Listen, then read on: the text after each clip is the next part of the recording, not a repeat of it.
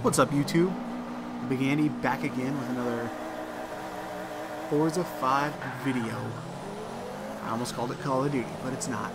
So what I wanted to show today is the 5 cars you get in the limited edition car pack. The only way to get this is to buy the limited edition of the game. Um, you can find the, the DLC code online for sale um, places like eBay and things like that. But I just wanted to show you guys what you get before you go ahead and make that leap. There's uh, two other things you get with uh, the limited edition, which is a VIP membership and the day one car pack. Um, I'm going to be making separate videos of those. Buying the five these five cars in game was crazy expensive. Now these five cars are available in the game normally.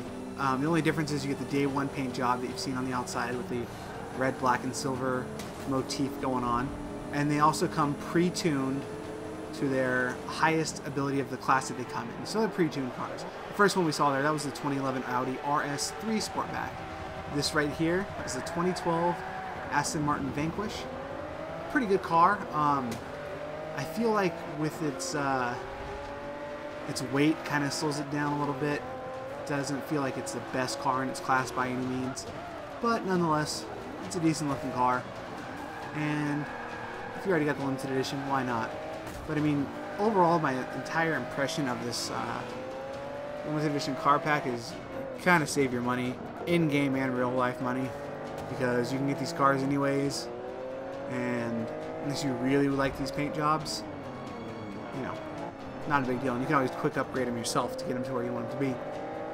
The next car that is included, car number three of five, is the 2013 Ford M Shelby Mustang GT500. So you see same basic motif, silver, black, gray, or silver, black, and red. Um, this one actually felt like uh, one of the better. I kind of ranked them in this video from worst to best. So as we go on here, you're going to see the better cars that are available. Um, this thing felt like it had really good acceleration, good enough handling, uh, decent enough top end speed. It actually felt better than the Aston Martin for whatever reason. So I'd recommend it. It's a good car. The next car is one of my favorites. The 2013 SRT Viper GTS. It's the same one in the game for like 130,000 credits. I just really like this car visually. I think it's great. Um, it's definitely better than some of the other Vipers in the game. I think it's better than the what is it, the 08 SRT. It's a little bit better than. Um, it's a little bit better than. I'd say the definitely like the 96. I think is in there. It's better than that one for sure. Um, there's a couple of race version ones, um, like the 90, number 93, the one they use in the ALMS, and uh, 24 Hours of Le Mans, and all that stuff's in there too. I'd probably pick that car over this specific one if you're, you know, looking for a Viper to spend your money on. But nonetheless, not a terrible choice. And the last car available in this pack is a pretty epic one. It's the one on the cover.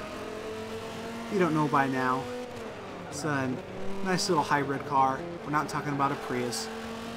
It's a McLaren P1 2013.